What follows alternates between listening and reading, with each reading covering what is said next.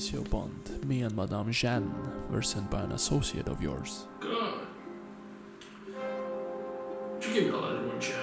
That don't smoke. Wrong answer. Whoa, whoa, whoa. Don't move. Who sent you? Who sent the thing? Calm down. It was Mr. Felix. No, it was somebody else. And you, Manchuri, are coming with me. Who sent you? Tell me! Whoa, whoa, whoa. Don't shoot me. Don't shoot me. I'm unarmed. I tell you.